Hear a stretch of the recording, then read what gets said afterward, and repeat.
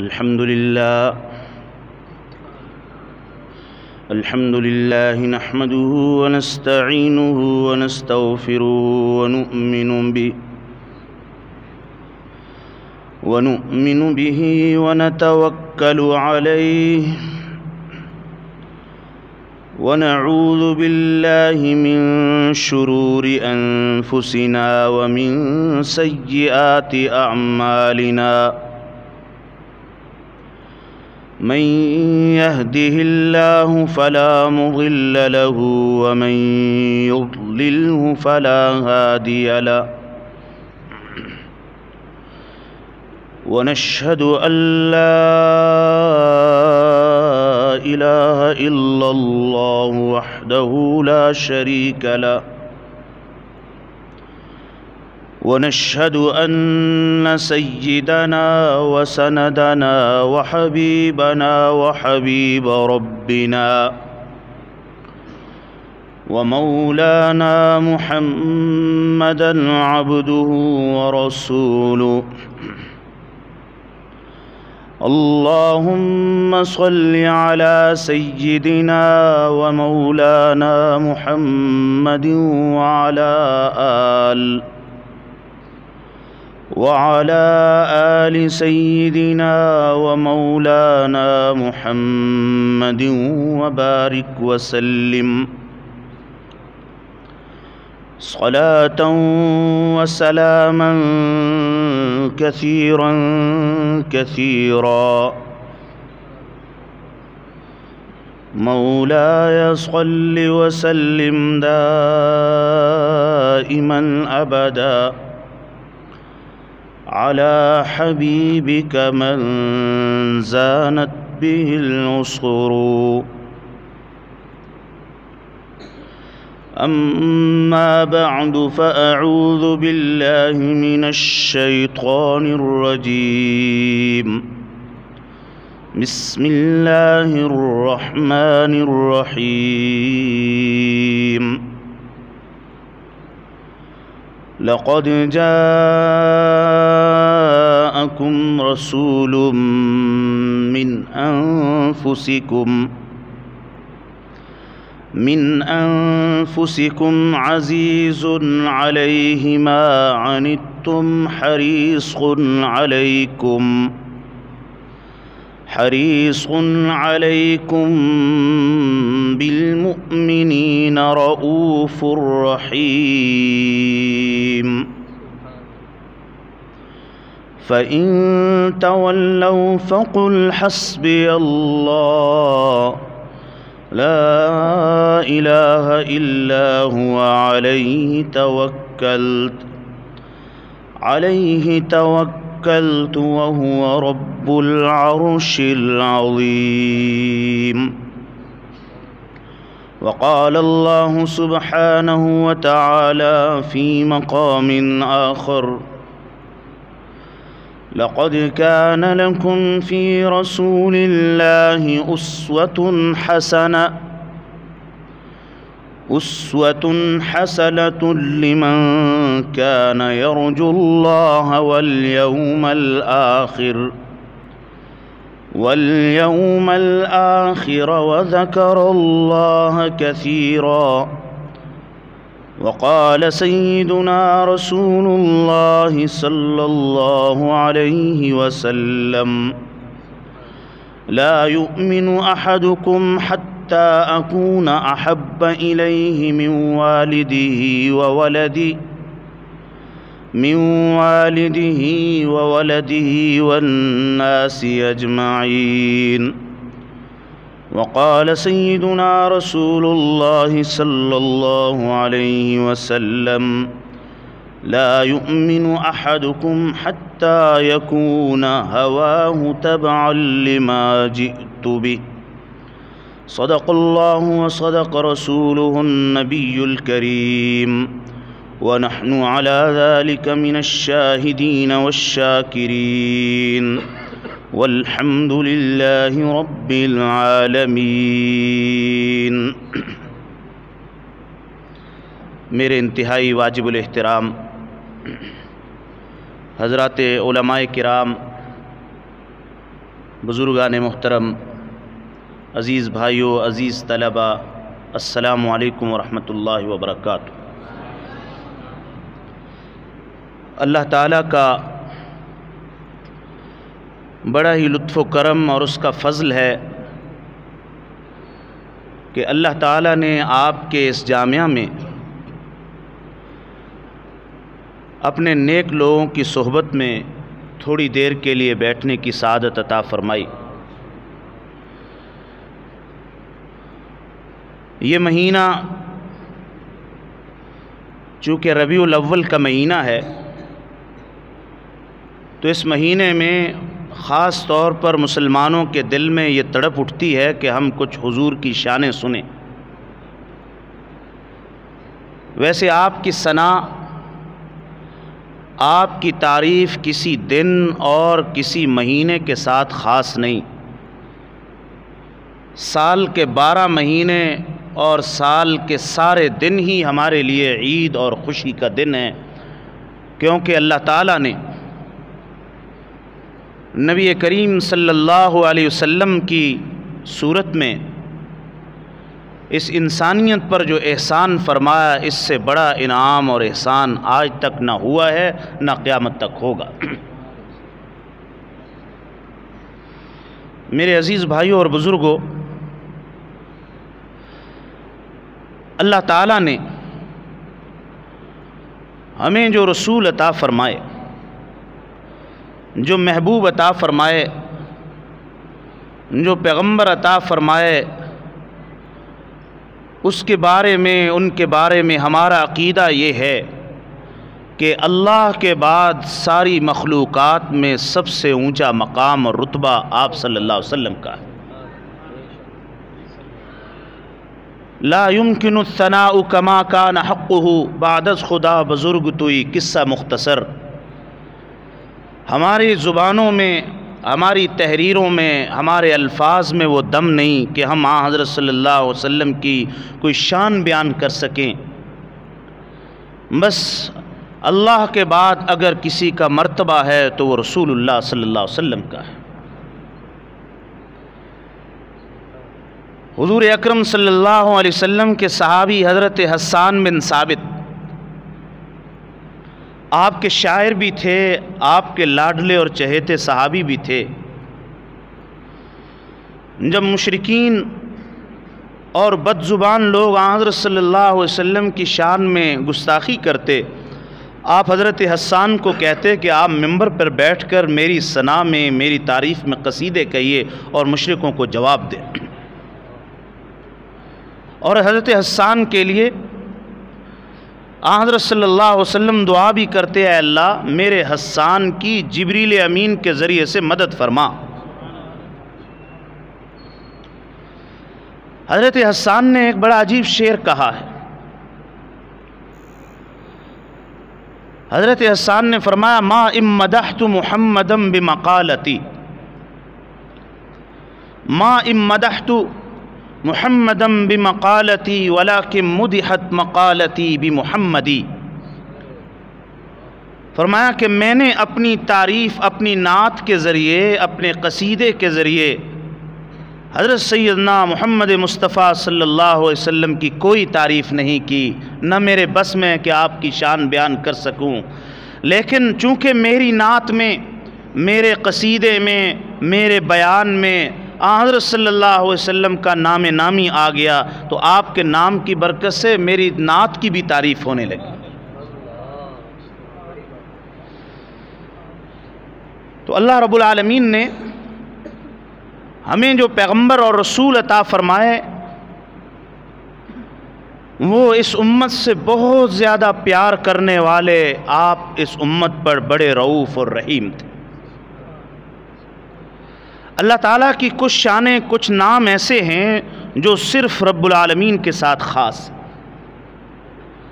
کسی بھی انسان کے لیے وہ اللہ کی صفت استعمال کرنا جائز نہیں۔ اور بعض اللہ تعالیٰ کی صفات ایسی ہیں جو اللہ نے اپنے بندوں کو بھی عطا فرمائی۔ جیسے رعوف ہونا اور رحیم ہونا یہ اللہ رب العالمین کے اوصاف میں سے بھی ہے اور رسول اللہ صلی اللہ علیہ وسلم کی صفات میں سے بھی، آپ کے ناموں میں سے بھی۔ خود اللہ تعالیٰ نے قرآن مجید میں فرمایا کہ ہم نے جو تمہیں پیغمبر دیے ہیں، ان کی صفات کے بارے میں فرمایا، وہ رعوف بھی ہیں اور رحیم بھی ہیں۔ ساری دنیا کے انسانوں سے مشرق کے انسان ہوں یا مغرب کے انسان، سب سے بڑے عقل مند، سب سے بڑے محبوب، سب سے بڑے مدبر، سب سے زیادہ سخاوت کرنے والے، سب سے زیادہ رحم کرنے والے، سب سے زیادہ شفقت والے، اگر کوئی ذات ہے تو وہ رسول اللہ صلی اللہ علیہ وسلم کی ذات ہے۔ حضرت زید بن حارثہ کا آپ نے نام سنا ہوگا۔ حضرت زید بن حارثہ، یہ آندر صلی اللہ علیہ وسلم کے وہ صحابی ہیں جو کسی نے آپ کو گرفتار کیا، پھر آگے بیچ دیا، ظلم و ستم کا بازار تھا، انہوں نے آگے بیچا، بکتے بکاتے مکہ المکرمہ میں آ گئے۔ حضرت زید بن حارثہ جب حضرت خدیجہ کے پاس آئے تو آپ صلی اللہ علیہ وسلم نے حضرت زید کو اپنا بیٹا بنا لیا۔ حضرت زید بن حارثہ کے ایک بیٹے تھے اسامہ بن زید رضی اللہ عنہ۔ اسامہ بن زید سے بھی آپ کا بہت پیار تھا۔ ایک مرتبہ ایک خاتون نے چوری کی، قبیلہ بنو مخزوم کی ایک عورت نے چوری کی، تو آپ کی خدمت میں جب اس کی چوری ثابت ہو گئی تو آپ نے ہاتھ کاٹنے کا فیصلہ کیا۔ جیسے قرآن نے حکم دیا ہے۔ اب وہ چونکہ بڑے قبیلے اور سردار کی بیٹی تھی، تو لوگوں نے سوچا کہ اس میں تو ہماری بڑی بے عزتی اگر اس کا ہاتھ کٹ گیا تو کیوں نہ آپ صلی اللہ علیہ وسلم کی خدمت میں سفارش کروائی جائے کہ کسی طرح ان کا ہاتھ کٹنے سے بچ جائے۔ لوگوں نے سوچا کہ اس بات میں کس کو ہمت ہوگی کہ آنظر صلی اللہ علیہ وسلم کی خدمت میں سفارش کرے سارے حضرات، آپ کا ادب، آپ کی عظمت اور روب اتنا تھا کہ آپ کے سامنے وہ اپنی زبان کو ہلا بھی نہیں سکتے۔ سب نے اتفاق کے ساتھ فیصلہ کیا کہ زید بن حارثہ کے بیٹے، جو اسامہ بن زید ہیں، یہ حضور کو بہت پیارے ہیں۔ یہ سفارش کر لیں۔ چنانچہ آئے یہ نوجوان تھے، ابھی لڑکے تھے۔ کہنے لگے جی آپ سفارش کیجیے، ہو سکتا ہے ہماری یہ فاطمہ کا ہاتھ کٹنے سے بچ جائے۔ حضرت اسامہ نے سفارش کر دی۔ آ، حضرت صلی اللہ علیہ وسلم ہمارے محبوب۔ اپنی ذات کے لیے آپ کو کبھی بھی غصہ نہیں آیا۔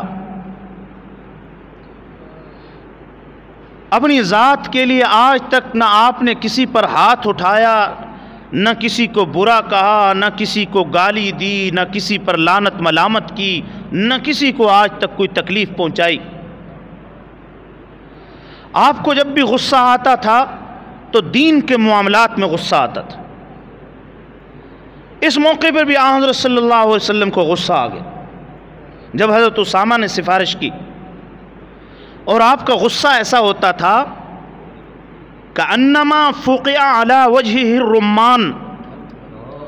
آپ کے چہرہ انور پر رخسار ایسے سرخ ہو جاتے جیسے آپ کے چہرہ انور پر انار نچوڑا گیا ہو۔ اتنا سرخ ہو جاتا تھا غصے کے ایک دفعہ آپ صلی اللہ علیہ وسلم مسجد نبوی میں آئے، صحابہ کو دیکھا کہ آپس میں تقدیر کے بارے میں گفتگو کر رہے۔ ہیں جی میری قسمت میں تو یہ لکھا، ایسا نہ ہوتا تو ایسا کیوں کرتا؟ ایسا نہ ہوتا تو بعض لوگوں کی عادت ہوتی ہے بحث مباحثے کی۔ اور ان کا مشغلہ ہی بحث مباحثہ، اسی میں لطف لیتے رہتے، مزے لیتے رہتے۔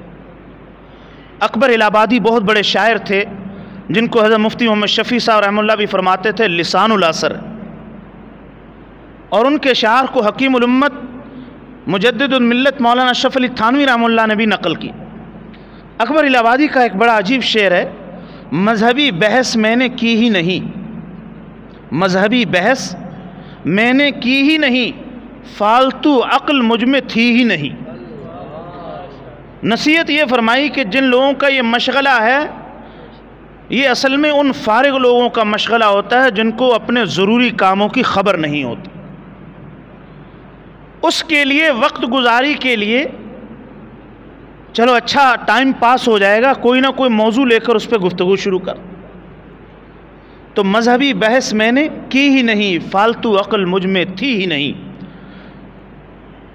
جتنے بھی مسائل ہیں دین کے، ان میں سب سے نازک اور مشکل مسئلہ جس کو نہ کوئی آج تک سمجھ سکا، نہ سمجھ سکے گا، وہ تقدیر کا مسئلہ ہے۔ تو صحابہ کو دیکھا، گفتگو کر رہے تھے۔ آپ صلی اللہ علیہ وسلم نے جب دیکھا تقدیر کے بارے میں گفتگو کر رہے ہیں، تو آپ بہت سخت غصے ہوئے اور آپ کی یہی کیفیت تھی۔ اور فرمایا، تم سے پہلے والی قومیں بھی اسی تقدیر پر گفتگو کرنے کی وجہ سے تباہ و برباد ہو گئی اور ہلاکت میں چلی گئی لہذا تم اس گفتگو سے باز آ جاؤ۔ تقدیر کے بارے میں نہ سوچو، نہ اس کے بارے میں بحث کرو۔ یہ مسئلہ کسی انسان کی عقل میں آنے والا نہیں ہے۔ یہ مسئلہ عقل سے کہیں زیادہ بالا ہے۔ یہ ایسے ہی ہے جیسے بکری سے ہم کام دودھ لینے کا لے سکتے ہیں، چارہ دیا اور دودھ اس کا دوہ لیا اور نکال لیا۔ بکری سے ہم خچر کا کام نہیں لے سکتے۔ اگر بکری سے چاہیں ہم خچر والا لوڈ ڈالیں گے تو وہ لوڈ آپ کا اٹھا کر گاؤں نہیں پہنچائے گی، بلکہ وہیں مر جائے گی، ہلاک ہو جائے گی۔ یہ ایسے ہی جیسے سونے والے سنار کے پاس ترازو ہوتا ہے۔ اس کے پاس جو سنار کی دکان میں زرگر کے پاس جو ترازو ہوتا ہے، اس کا کام چند تولے سونا تولنا ہے۔ اگر کوئی چاہے، ہمارے استاد شیخ الاسلام حضرت مفتی محمد تقی عثمانی صاحب فرماتے تھے، اگر کوئی یہ چاہے کہ میں سنار کے اس ترازو پر چٹان کو تول لوں اور پہاڑ کو تول لوں اور اس کا وزن معلوم کروں، اس کا نتیجہ یہ ہوگا کہ اس کا وزن تو معلوم نہیں ہوگا، اس کا ترازو ہی چکنا چور ہو جائے۔ اللہ تعالیٰ نے ہماری عقل کی لمٹ رکھی۔ اس عقل کے اندر وہی کی اور غیب کی باتیں نہیں آ سکتی یہ صرف ماننے اور ایمان لانے کی باتیں۔ اس کو کوئی انسان سمجھ نہیں سکتا، یہ ما فوق العقل ہے۔ حضرت مجدد الفسانی رحم اللہ فرمایا کرتے، حضرت کے مکتوبات میں ہے، یہ جتنی بھی وہی کی باتیں ہیں، یہ خلاف عقل نہیں ہے، یہ عقل سے ما فوق اور بلند ہیں خلاف عقل ہونا اور چیز ہوتا ہے اور عقل سے بالا اور بلند ہونا اور چیز ہوتا ہے۔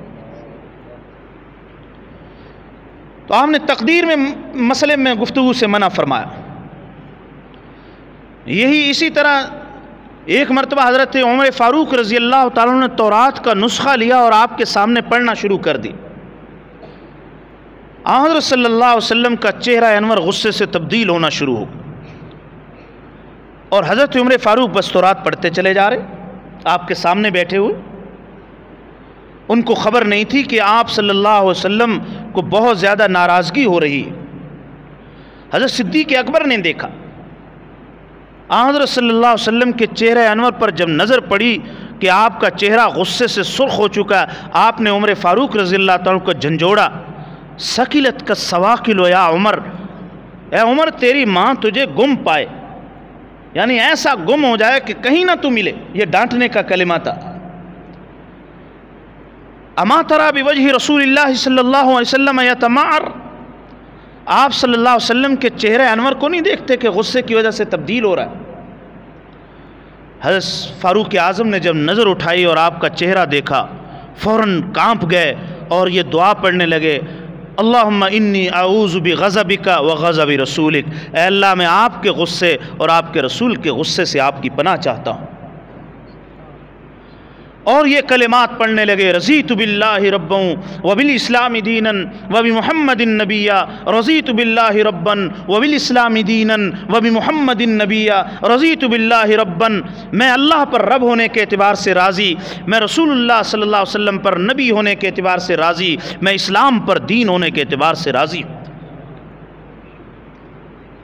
آپ صلی اللہ علیہ وسلم نے فرمایا، عمر میری موجودگی میں تورات قرآن کی موجودگی میں تورات پڑھ رہے ہو؟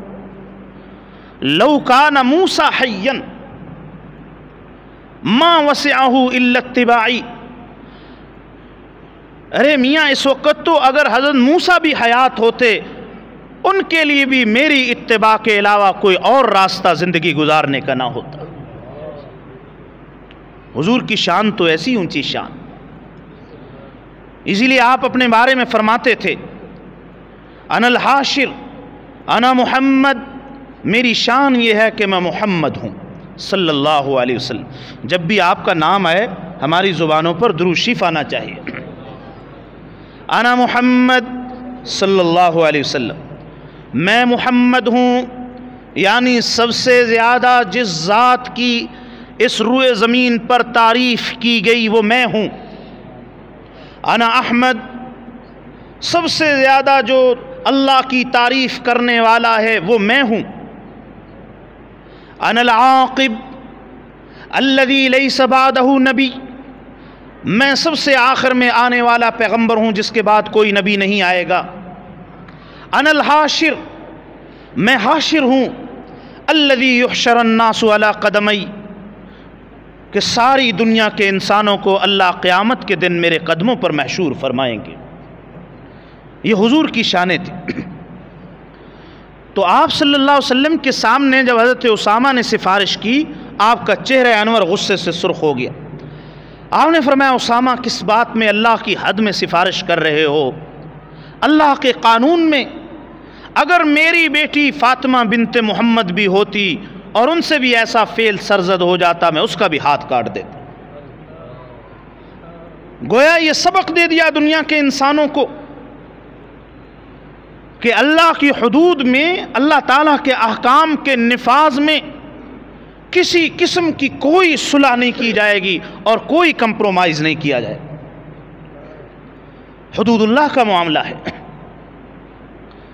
اللہ تعالیٰ کے حکم کا معاملہ ہے۔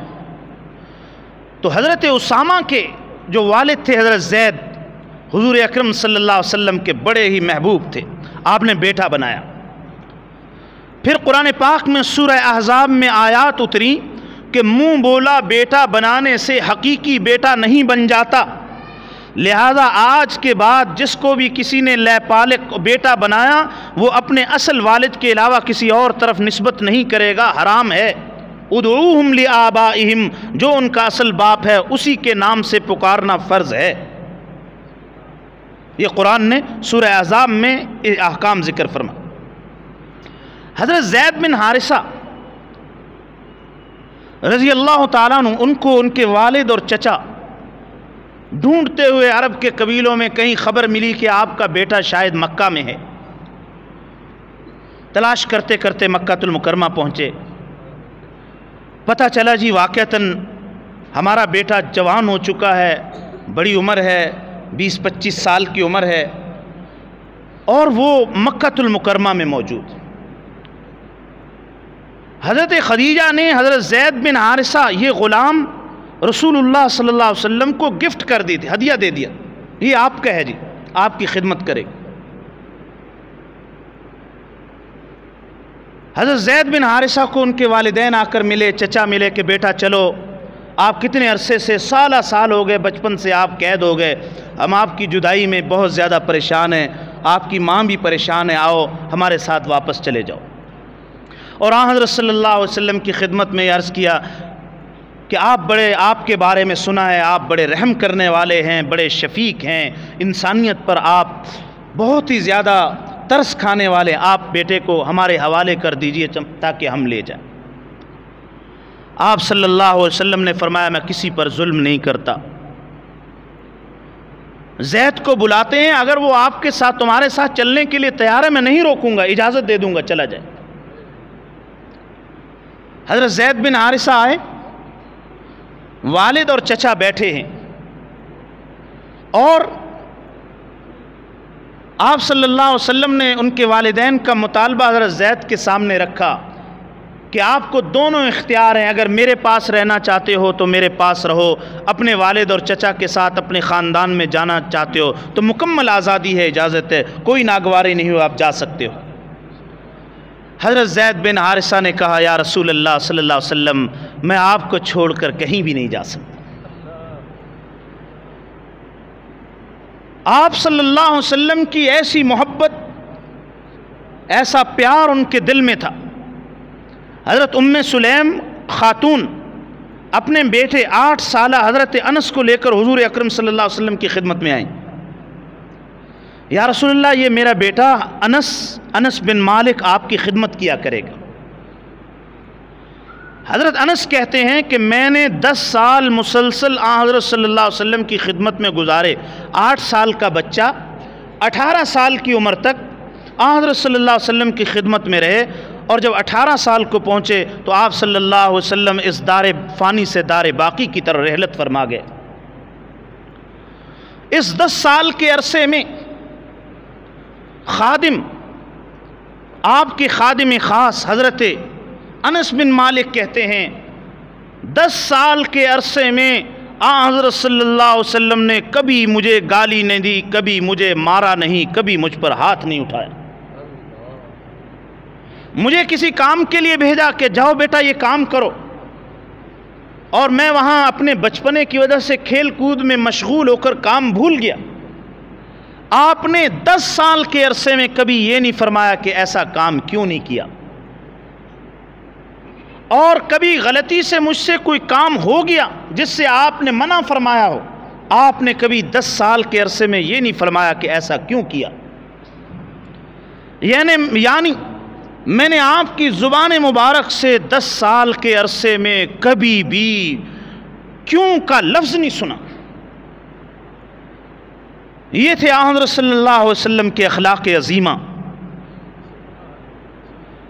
آپ کو اللہ تعالیٰ نے جو اخلاق عطا فرمائے، حضرت عائشہ صدیقہ فرماتی تھیں کان خلق القرآن، حضور اکرم صلی اللہ علیہ وسلم کے اخلاق، یہ پورا قرآن مجید ہے۔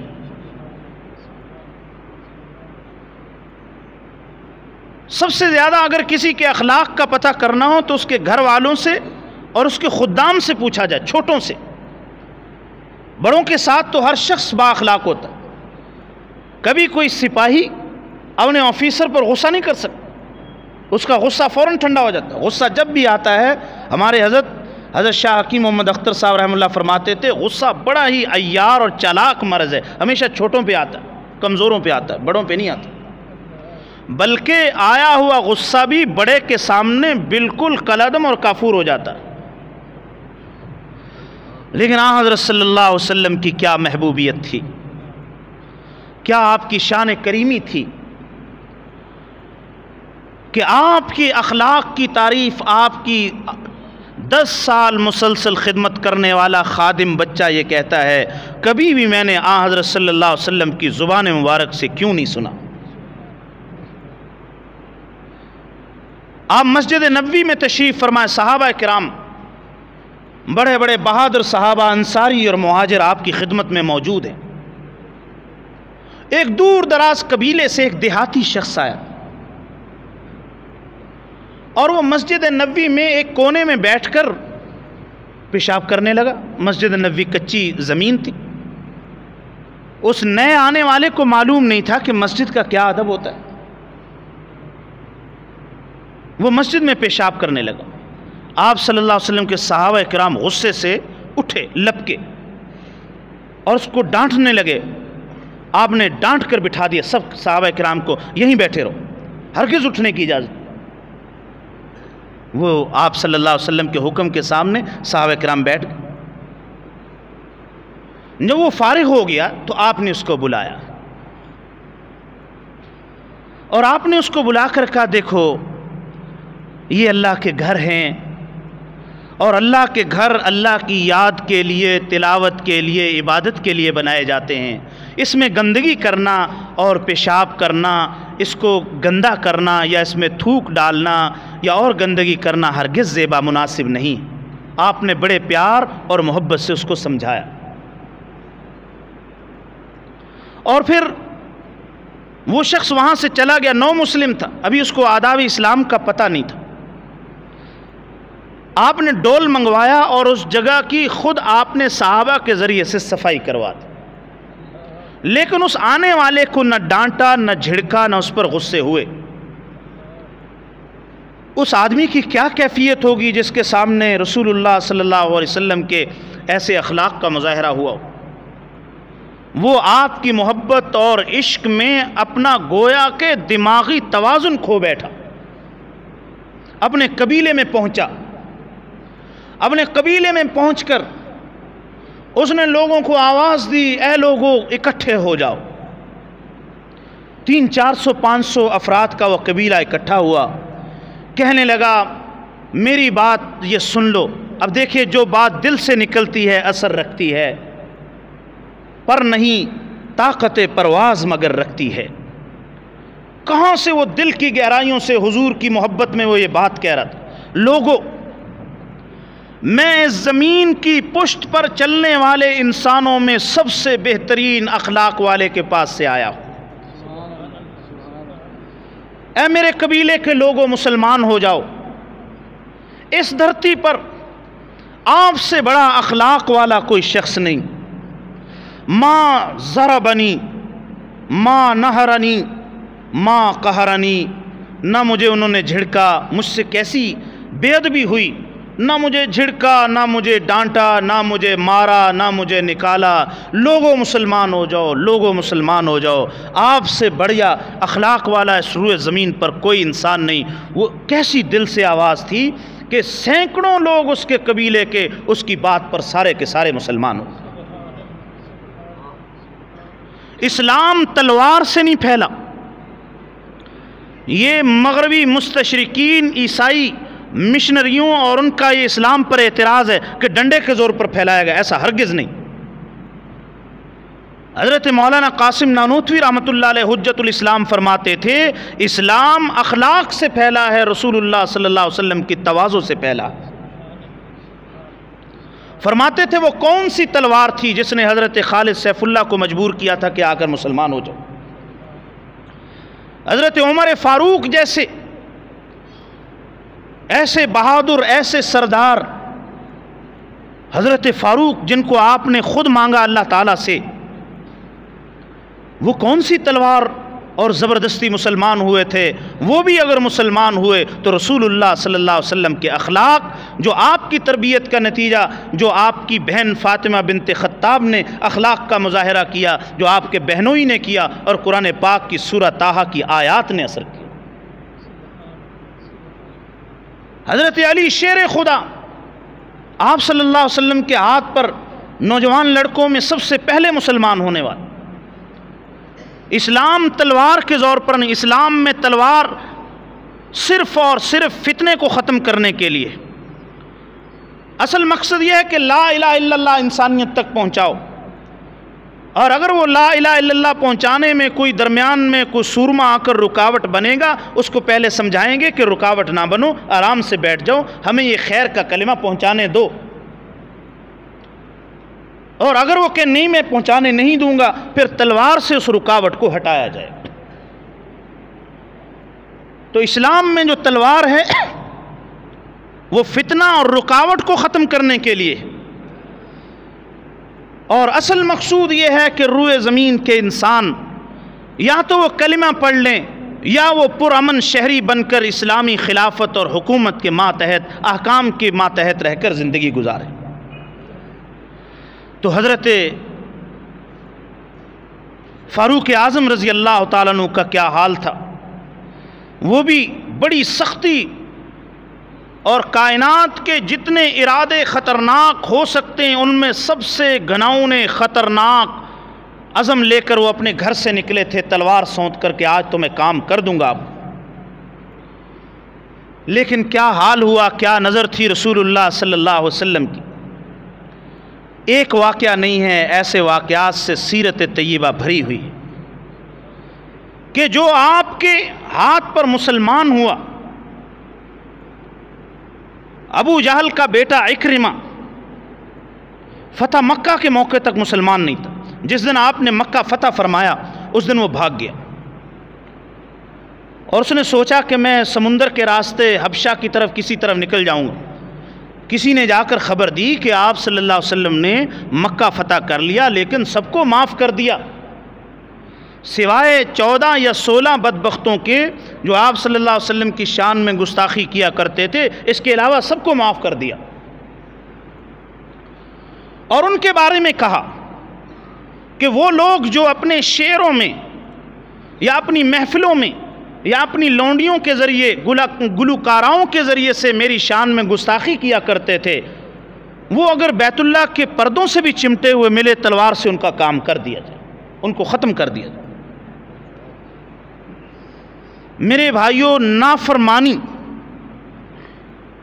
اس بات میں کسی کو جبر نہیں کیا جائے گا کہ دائرہ اسلام میں کوئی بندہ داخل ہوتا ہے یا نہیں۔ دائرہ اسلام میں داخلے کے لیے کوئی جبر نہیں۔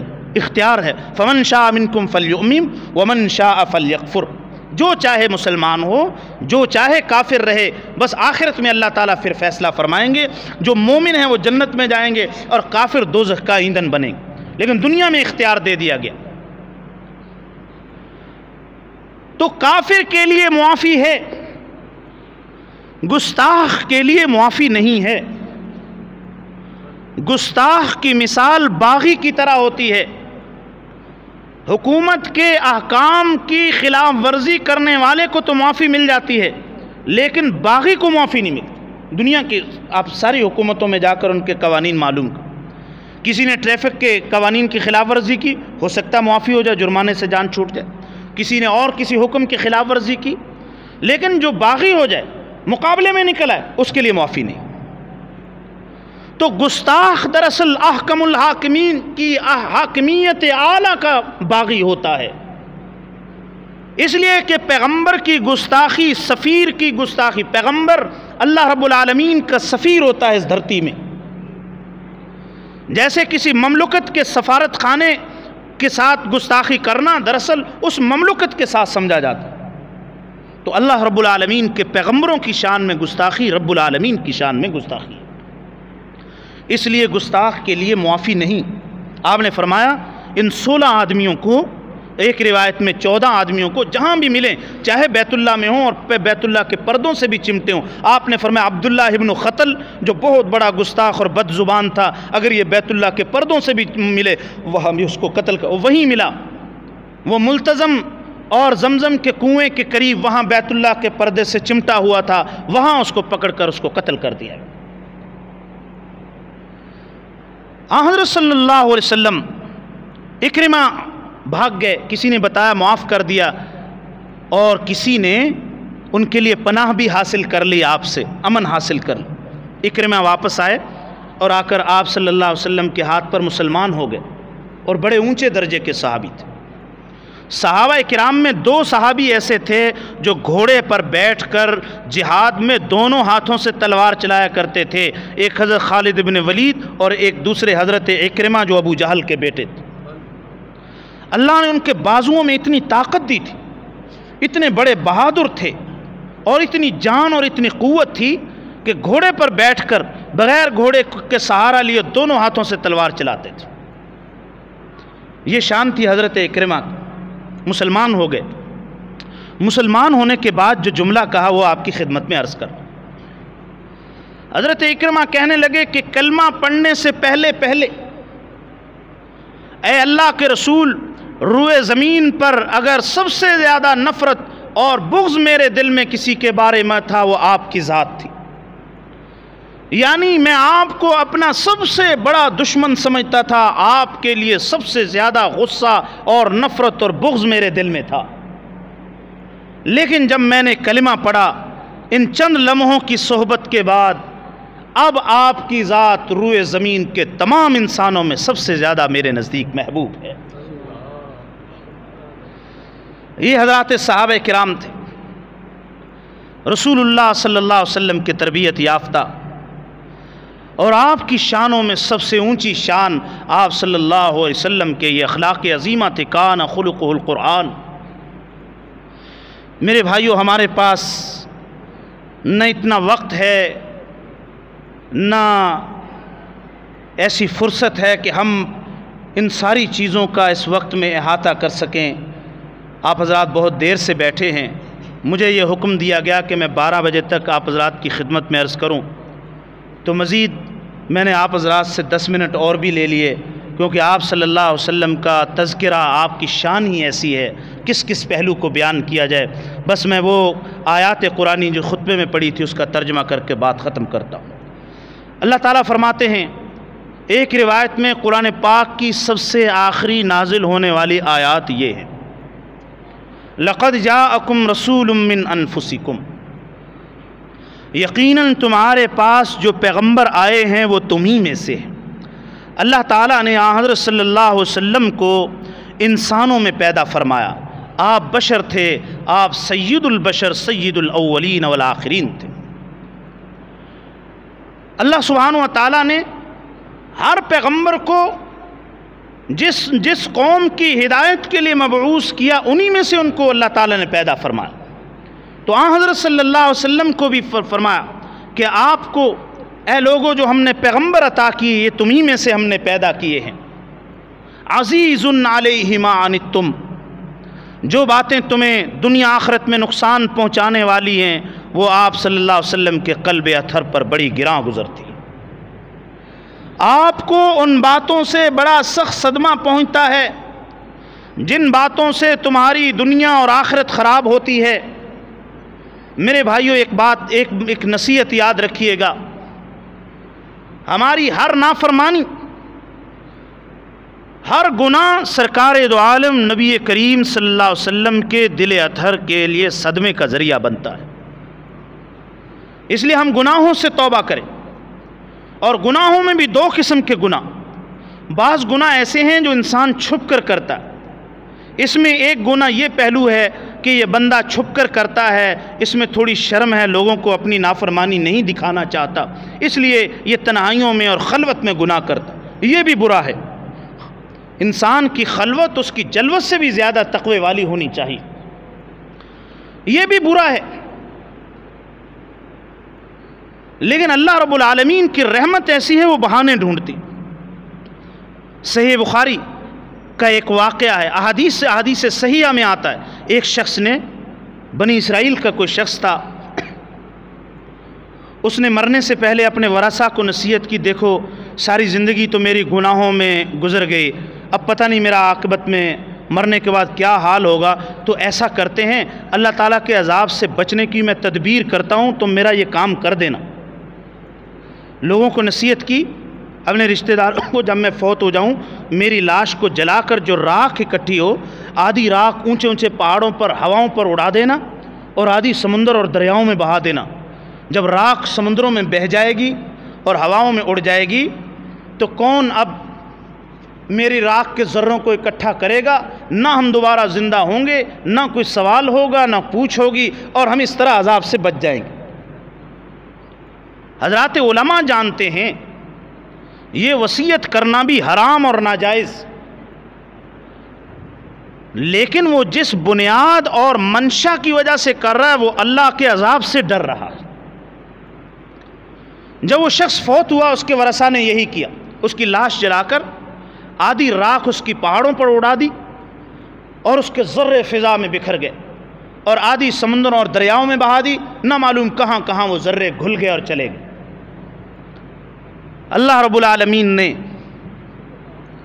تمام ذرات کو حکم دیا، جہاں بھی ہو اکٹھے ہو جاؤ۔ اور وہ سارے ذرے اکٹھے ہو گئے، اللہ تعالیٰ نے اس کو دوبارہ اپنے سامنے زندہ کھڑا کر لیا۔ اللہ رب العالمین نے پوچھا، ایسا کیوں کیا؟ کہنے لگے، اے اللہ، باری تعالیٰ، آپ کے خوف کی وجہ سے میں آپ کے عذاب کو برداشت نہیں کر سکتا تھا۔ گناہوں میں زندگی گزاری تھی، اس لیے میں ڈر گیا اور ڈر کی وجہ سے ایسا کیا۔ اللہ تعالیٰ نے فرمایا ہاں واقعتاً میں لطیف و خبیر ہوں، تمہارے دل کے احوال کو جانتا ہوں۔ کیا تو تو نے میرے ڈر ہی کی وجہ سے؟ تو چلو اچھا اگر میرے ڈر کی وجہ سے کیا ہے تو میرا مجھ سے ڈرنا بھی تو بہت اچھی چیز ہے۔ میں نے اسی وجہ سے آپ کو معاف کر دیا اور جنت میں داخل کر دیکھیے میرے بھائیوں اللہ رب العالمین کی کیسی رحمت اور خبر دینے والی ذات اس کائنات کی سب سے سچی ذات، اس شخص کی مغفرت کی خبر دے رہی کہ اللہ تعالیٰ کتنے لطف و کرم کرنے والے۔ تو ایک انسان وہ گناہ ہیں جو چھپ کر کرتا اور بعض گناہ وہ ہیں جو لوگوں کے سامنے مجمع میں کیے جاتے میرے بھائیوں جو گناہ مجموع میں ہوتے ہیں، وہ منکرات جو دھڑلے سے لوگوں کے سامنے کیے جاتے ہیں، یہ بڑے سنگین گناہ ہوتے ہیں۔ ہمارے بعض گناہ ایسے ہیں جس کو سب لوگ دیکھتے اس کی مثال میں نے رات بھی خانے وال کے بیان میں بھی عرض کی تھی۔ ایک وہ بندہ ہے جو اپنے والد کی نافرمانی گھر کے کونے میں بغیر خلوت میں کرے اور منہ پہ گستاخی کرے اور بے ادبی کرے، وہ بھی گستاخ ہے۔ اور ایک وہ ہے جو پورے مجمع میں لوگوں کے سامنے، رشتہ داروں کے سامنے ذلیل کر دے، وہ سب سے بڑا گستاخ اور بدبخت۔ دونوں بدبخت ہیں، لیکن بڑا بدبخت کون سا ہے جی؟ جو لوگوں کے سامنے ذلیل۔ اسی طرح وہ بندہ جو چھپ کر اللہ رب العالمین کی نافرمانی کرے، یہ بھی ناشکرہ ہے۔ یہ بھی اللہ تعالیٰ کی نعمتوں کا ناشکرہ ہے۔ لیکن جو مجمع میں کرے، لوگوں کے سامنے کرے اور دھڑلے سے نافرمانی کرے، یہ رب العالمین کی شان میں جو اپنی بے باکی اور گستاخی کو ظاہر کر رہا ہے، یہ بدبختی میں اس سے کہیں زیادہ بڑا ہوا۔ ہم دیکھیں ہماری شادیاں، ہماری تقریبات، مخلوط اجتماع، مقدس سیرت کے جلسوں پر مخلوط اجتماع۔ کالج میں، یونیورسٹی میں سیرت سید خیر الانام پر جلسہ ہو رہا ہے اور خواتین اور مرد اکٹھے بیٹھے ہو جلسہ رحمت للعالمین کی سیرت کا اور تعلیمات کا۔ اور مجمع میں سب سے زیادہ نافرمانی تکلیف بھی پہنچائی جا رہی تو سرکار دو عالم نبی کریم صلی اللہ علیہ وسلم۔ ایک وہ بندہ جو تنہائی میں نافرمانی کرے، ایک مجمع میں سینکڑوں کے سامنے نافرمانی کرے، یہ بڑا گستاخ اور بڑا نافرمان اور ناشکرہ ہے۔ اس لیے میرے بھائیوں ہم اجتماعی گناہوں سے بھی توبہ کریں۔ اپنی شادیوں میں بھی پردے کا اہتمام۔ وہاں خواتین کو الگ کریں، مردوں کو الگ کریں، ویڈیو اور تصاویر کو وہاں سے نکال دیں۔ خواتین میں کھلانے والی بھی عورتیں ہونی چاہیے۔ مرد نہیں جانے چاہیے وہاں۔ اس طرح انتظام ہو، ان منکرات سے اپنے آپ کو بچائیں۔ یہ منکرات، یہ دھڑلے سے کی جانے والی نافرمانیاں، یہ مجمع، یہ سرکار دو عالم نبی کریم صلی اللہ علیہ وسلم کے دل اتھر کو صدمہ پہنچاتی۔ بنی آدم کے جب اعمال امت کے سرکار دو عالم نبی کریم صلی اللہ علیہ وسلم پر پیش کیے جاتے، اس وقت کیا کیفیت ہوگی جبکہ آپ کی شان یہ ہے، عزیز علیہما انتم اے لوگو، جو تم تمہیں نقصان پہنچانے والی چیزیں ہیں آخرت میں، یہ آ حضرت صلی اللہ علیہ وسلم کے دل اتھر پر بڑی بھاری گزرتی ہے۔ آگے کیا فرمایا؟ حریص علیکم، وہ تمہاری کامیابی کی بڑی شدید طلب رکھتے ہیں۔ بڑی ہی دل میں گہری تڑپ ہے آپ کے دل میں کہ میری امت فلاح پا جائے اور کامیاب ہو جائے اور جنت میں جانے والی بن جائے۔ یہ درد ہے حضور اکرم صلی اللہ علیہ وسلم کے قلب اتھر میں۔ بالمؤمنین رعوف الرحیم، آپ تمام ایمان والوں پر بڑے مہربان بھی ہیں، رحیم بھی ہیں رعوف بھی ہیں۔ آپ کو اللہ نے رحمت للعالمین بنا کر بھیجا۔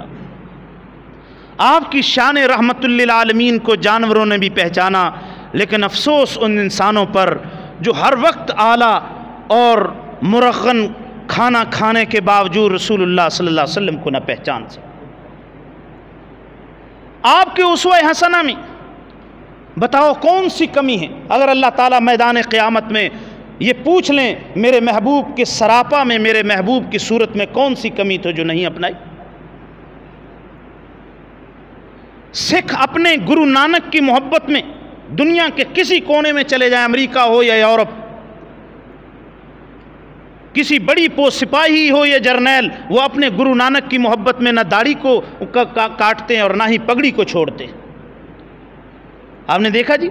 سکھوں کو جہاں بھی جاتے ہیں پگڑی کے ساتھ ہوتا افریقہ میں ہوں، امریکہ میں ہوں، یورپ میں ہوں۔ بھارت میں تو ان کی فوج میں جہاں سکھ ہیں، ان کے لیے عام ٹوپی بھی ختم پگڑی باندھی جاتی۔ اور ایک یہ مسلمان ہیں رسول اللہ صلی اللہ علیہ وسلم کے عشق کے دعوے دار۔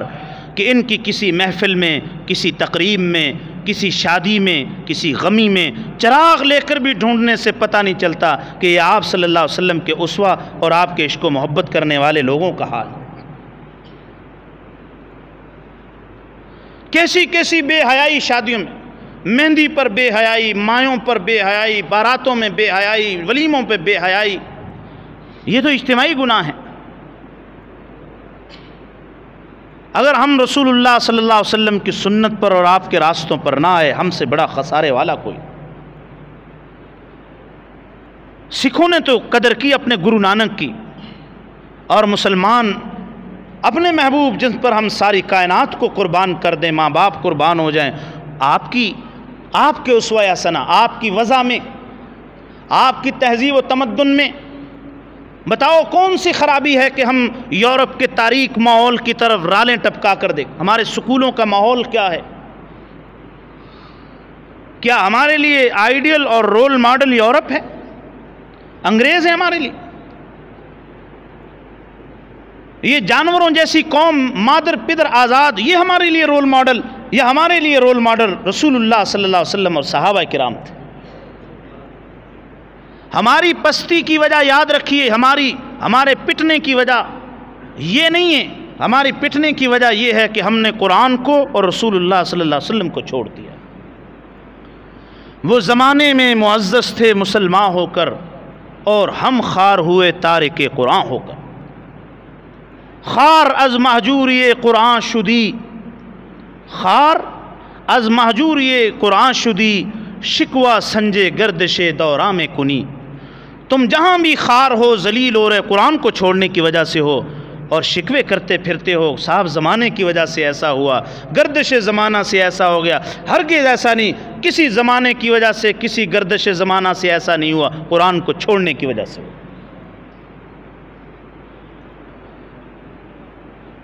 اس لیے میرے بھائیوں اگر ہم رفعت اور بلندی چاہتے ہیں، اگر ہم سکون اور امن چاہتے ہیں اگر ہم برکتوں اور سعادتوں والی حیات چاہتے ہیں، قرآن پاک کو الفاظ کے اعتبار سے بھی، معنی کے اعتبار سے بھی، حلال و حرام کو جاننے کے اعتبار سے بھی، اس پر عمل کرنے کے اعتبار سے بھی ہم قرآن کو سینے سے لگا لیں۔ اس کے بغیر کامیابی نہیں ہوگی۔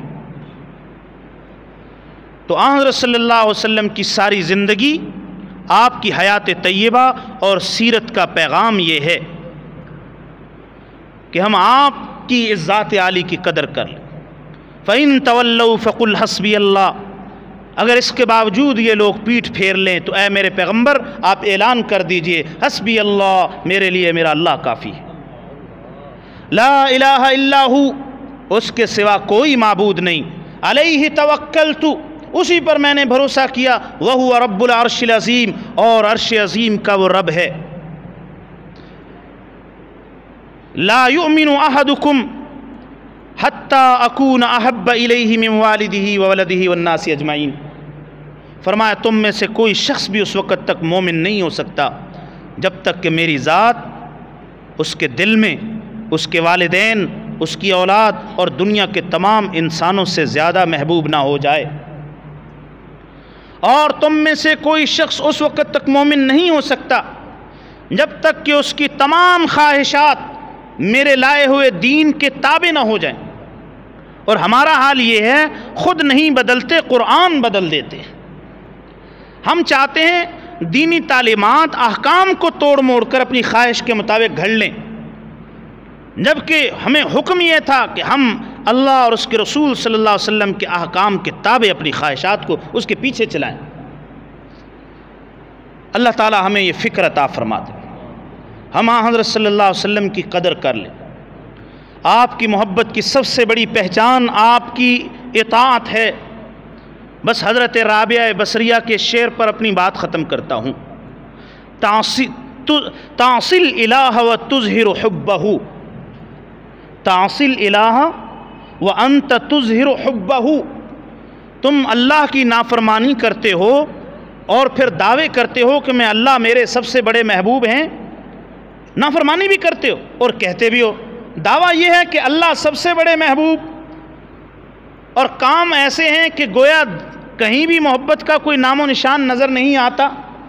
تاصل الہ و انت تظہر حبہ تم الہ کی، معبود کی، اللہ کی نافرمانی کرتے ہو اور پھر محبت کا بھی اعلان کرتے ہو۔ ان المحب لمن يحب يطيع بات یہ ہے جو محبت کرنے والا ہوتا ہے، وہ اپنے محبوب کی باتوں کی فرما برداری کرتا ہے۔ جس کو حضور اکرم صلی اللہ علیہ وسلم سے محبت ہے اور ہمیں آپ صلی اللہ علیہ وسلم سے محبت ہے، الحمدللہ۔ مومنین کو محبت ہے۔ ہے نا جی سب کو محبت؟ سب ہاتھ کھڑا کریں۔ ہمیں حضرت صلی اللہ علیہ وسلم اس کائنات میں سب سے زیادہ پیارے ہیں۔ لیکن اب اس اعلان کے صداقت اور سچائی ہمارے عمل سے ظاہر ہو۔ ہماری رہن سہن سے، ہماری معاشرت سے، ہمارے بازاروں سے، ہمارے کاروبار سے، ہماری ان ساری چیزوں سے اب پتہ چل جائے گا کہ اس دعوی محبت میں ہم کتنے سچے ہیں۔ اللہ رب العالمین مجھے اور آپ کو اس کی توفیق عطا فرما دیں ہمیں اطاعت کاملہ کی توفیق دیں اور اللہ رب العالمین آپ صلی اللہ علیہ وسلم کی ایسی محبت عطا فرما دیں جس سے ہمارے لیے دین پر سو فیصد پورے دین پر چلنا آسان ہو جائے۔ وآخر دعوانا ان الحمد للہ رب العالمین۔ جی جی۔ الحمد للہ رب العالمین والصلاة والسلام على سید الانبیاء والمرسلین۔ یا رب لک الحمد کما ينبغی لجلال وجهك وعظیم سلطانك یا رب لک الحمد کما ينبغی لجلال وجهك وعظیم سلطانك یا رب لك الحمد كما ينبغي لجلال وجهك وعظيم سلطانك. يا رب صل وسلم وبارك على سيدنا ونبينا وحبيبنا محمد كما ينبغي لعظيم عطائك وكرمك وجودك ومنك. اللهم صل على سيدنا ونبينا وحبيبنا محمد وعلى آل سيدنا ونبينا وحبيبنا محمد وبارك وسلم. ربنا آتنا في الدنيا حسنة وفي الآخرة حسنة وقنا عذاب النار. ربنا لا تزغ قلوبنا بعد إذ هديتنا وهب لنا من لدنك رحمة إنك أنت الوهاب. اللهم أحسن عاقبتنا في الأمور كلها وأجرنا من خزي الدنيا وعذاب الآخرة. اللهم إنا نسألك العفو والعافية في الدنيا والآخرة. وإنا نسألك دوام العافية. وإنا نسألك تمام العافية. وإنا نسألك الشكر على العافية يا أرحم الراحمين. اللهم أعنا على ذكرك وشكرك وحسن عبادتك. اللهم اللهم إنا نسألك جنة الفردوس ونعوذ بك من النار. اللهم إنا نسألك التوفيق لمحابك من الأعمال وصدق التوكل عليك وحسن الظن بك. اے اللہ، ہمارے ہر قسم کے گناہوں کو معاف فرما دیجیے اے اللہ، ہر قسم کے صغیرہ اور کبیرہ گناہوں کو اپنی رحمت سے معاف فرما دے۔ اے اللہ، ہمیں خلوت میں، جلوت میں، تنہائی میں اور مجموع میں اپنی اور اپنے حبیب صلی اللہ علیہ وسلم کی ہر قسم کی نافرمانی سے بچنے کی توفیق عطا فرما۔ اے اللہ اللہ ہمیں آپ کے عصوہ حسنہ اور قرآن مجید کی قدردانی کی توفیق عطا فرما۔ اے اللہ، ہمارے گھروں میں، انفرادی طور پر گھروں میں، معاشرے میں، شہروں میں، حکومتوں میں اللہ، ہمیں قرآن اور رسول اللہ صلی اللہ علیہ وسلم کی تعلیمات والا نظام عطا فرما دے۔ یا رب کریم، یا رحم الراحمین، امن اور ایمان کی بہار نصیب فرما۔ اے اللہ، امن اور ایمان کی بہار نصیب فرما۔ ہمیں دنیا آخرت میں معافی اور عافیت نصیب فرما۔ اللہم انا نعوذ بک من زوال نعمتک۔ اے اللہ، آپ نے جتنی نعمتیں عطا فرمائی ہیں، ان کو زوال سے محفوظ فرما۔ وتحول عافیتک۔ اے اللہ، آپ نے صحت و عافیت والی نعمت دی ہے۔ اس کے اے اللہ ختم ہو جانے سے محفوظ فرما۔ وفجاءت نقمتک و جمیع سخطک اے اللہ، اپنی اچانک پکڑ سے اور ہر قسم کی ناراضگی سے ہماری حفاظت فرما۔ یا رب کریم، احسن عاقبتنا فی الامور کلہا واجرنا من خزی الدنیا و عذاب الاخرہ۔ اے اللہ، ہر کام میں ہمارا انجام اچھا فرما۔ ہمیں دنیا کی رسوائیوں سے اور آخرت کے عذابوں سے محفوظ فرما۔ اے اللہ، آپ نے اپنے فضل و کرم سے ایسی نیک محفل میں جس میں علماء ہیں، جس میں طلباء ہیں، آپ کے نیک بندے موجود ہیں۔ اے اللہ، آپ کی نیک بندیاں موجود ہیں۔ اللہ، ان سب کی برکت سے ہماری دعاؤں کو قبول فرما۔ سب کو اے اللہ، دنیا آخرت کی سعادتوں سے مالا مال فرما۔ اے اللہ، ہمیں مستجاب الدعوات بنا۔ اے اللہ، اس مسجد کو، اس ادارے کو اپنی رحمت سے قبول فرما۔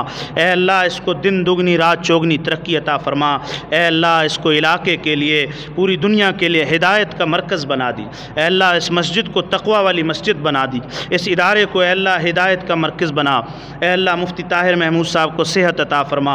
اے اللہ، ان کی صحت میں، توانائی میں، عزم میں، اخلاص میں اور زیادہ برکت عطا فرما۔ اے اللہ، حافظ شاہد صاحب، ان کی بھی صحت میں، عمر میں برکت عطا فرما۔ ان کے والد صاحب اور ان کی والدہ محترمہ بیمار ہیں اللہ، ان کو شفا عطا فرما، صحت نصیب فرما۔ اے اللہ، جتنی بھی یہاں پڑھنے والی طالبات ہیں، ان کو رابع بصریہ بنا۔ اے اللہ اللہ والی اللہ کی مقبول مقبول بندیاں بنا۔ اے اللہ پڑھنے والے طلبہ کو اپنے مقبول بندوں کی صف میں شامل فرما۔ اپنے اولیاء اللہ میں شامل فرما۔ اے اللہ یا ارحم الراحمین، اپنی قبولیت کی، لطف و کرم کی، اپنے احسان و کرم کی اے اللہ اس مجمع پر نظر فرما۔ اے اللہ ہماری ساری تمام حاجات کو اپنی رحمت سے پورا فرما دے۔ یا قاضی الحاجات، یا ذل جلال والاکرام یا ذل جلال والاکرام یا ذل جلال والاکرام یا ارحم الراحمین، یا حنان یا منان، یا رحمان یا رحیم، یا عزیز یا حکیم، یا عزیز یا رحیم، یا غفار یا ودود، یا ارحم الراحمین۔ اے اللہ، یا ارحم الراحمین، ہمیں دنیا اور آخرت میں ہر موقع پر اپنی رحمتوں کے سائے میں رکھیے۔ اے اللہ، دنیا، آخرت میں، اے اللہ، ہر وقت، ہر لمحہ اپنی رحمتوں کے سائے میں ڈھانپ کر رکھیے۔ اللہم غشنا برحمتک۔ اللہم غشنا برحمتک ونجنا من عذابک یا ارحم الراحمین۔ یا ذوالجلال والاکرام جتنے بھی حاضرین ہیں، جتنے بھی طلبہ ہیں، جو موجود ہیں اللہ ہمارے گھر والے اور جو بھی آئزہ احباب ہیں اللہ، سب کی حاجات کو اپنی رحمت سے پورا فرما۔ اے اللہ، ہماری سب سے بڑی حاجت یہ ہے، اپنی اور اپنے حبیب صلی اللہ علیہ وسلم کی محبت سب سے زیادہ ہمارے دلوں میں پیدا فرما۔ ہمیں متقی لوگوں کی صف میں شامل فرما۔ اے اللہ، ہر قسم کے ظاہری باطنی گناہوں سے بچا لیجیے اخلاص و صدق کی دولت سے مالا مال فرما۔ یا رب کریم، ہمارے گھروں سے فتنہ و فساد، جھگڑے، آپس میں نفرتیں اے اللہ نکال دیجیے آپس میں الفتیں اور محبتیں قائم فرما دیجیے یا رب کریم، جن کو جو اولاد سے محروم ہے، اپنے فضل و کرم سے ان کو اولاد صالحہ نصیب فرما۔ اے اللہ، جن کو اولاد عطا فرمائی ہے، بگڑی ہوئی ہے، اے اللہ ان کو صالح بنا۔ والدین کا فرما بردار اور ان کا خدمت گزار بنا دیجیے رب ارحمہما کما ربیانی صغیرہ رب ارحمہما کما ربیانی صغیرہ رب ارحمہما کما ربیانی صغیرہ وصلی اللہ تعالی علی نبینا و ومولانا و مولانا